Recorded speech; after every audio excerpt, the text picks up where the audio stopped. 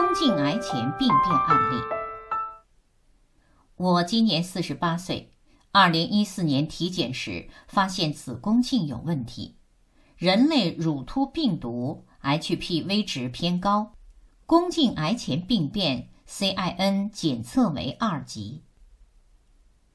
由于时常运动，体力比一般人好，身体亦无不适感，就没有把这病当一回事，只在家中保守治疗。二零一七年再体检时，CIN 检测进展为三级，医生建议我动手术。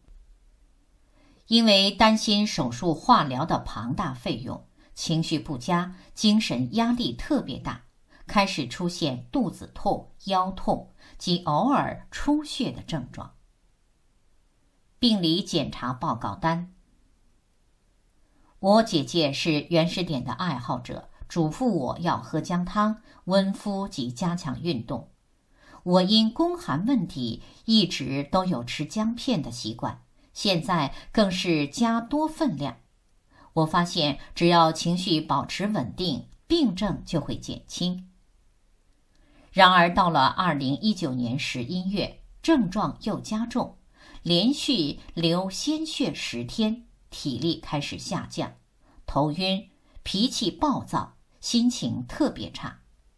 家人送我到医院做椎切病理检查后，院方建议立即手术。但这几年见当年一同体检患病的同事。历经放疗、化疗和各种的手术之苦，伤痕累累，我还是坚决不动手术。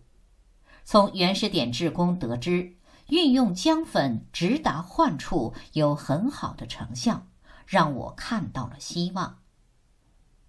二零一九年病例报告：二零二零年五月十八日开始用原始点疗法调理。因为刚做完椎切，分泌物和出血特别多，第一次喷入有机姜粉，感觉特别刺痛，就连走路都受影响。第二天，志工再次喷姜粉时，感觉好多了，分泌物和流血都没了。之后在家每天喷两次姜粉，坚持运动，遵照原始点调理原则。症状逐渐改善。四个月过去了，自己感觉身体状况良好，再去医院检查，结果一切正常，连医生都觉得神奇。康复检查报告，希望通过我的案例，可以帮助更多人，大家都来学习原始点，人人获得健康。感谢创始人张昭汉医师，感谢原始点志工，感谢姐姐。Thank you.